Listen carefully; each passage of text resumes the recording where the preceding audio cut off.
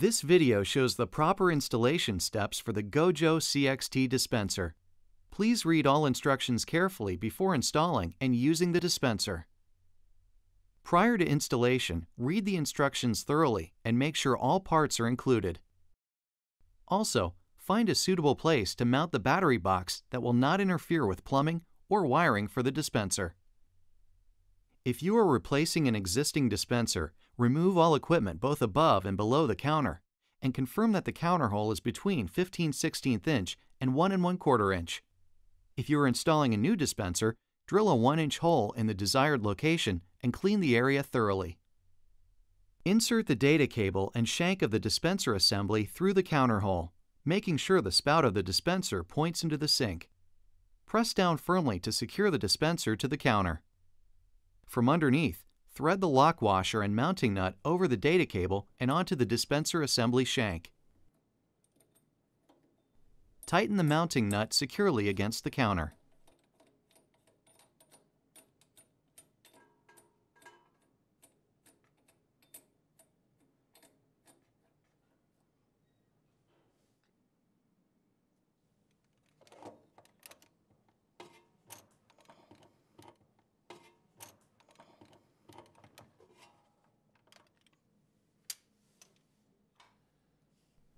Remove the front cover from the battery box.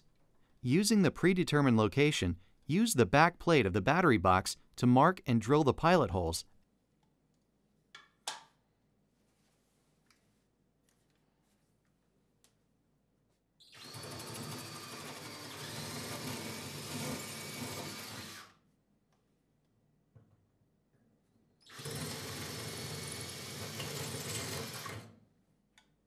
and fasten the battery box to the wall.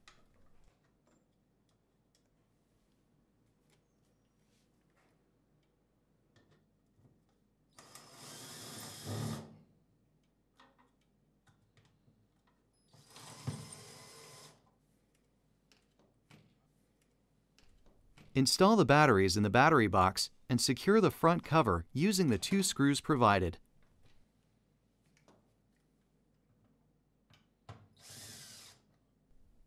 Keeping the data cable out of the way, align the motor assembly bottle support with the dispenser assembly shank and press firmly until the slots on the motor assembly and dispenser shank line up.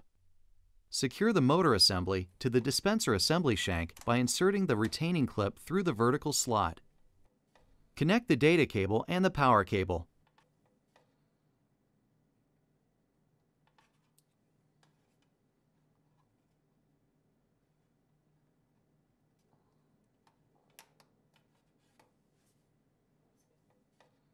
You may want to use the wall clip to secure any extra length of power cable to avoid tangling.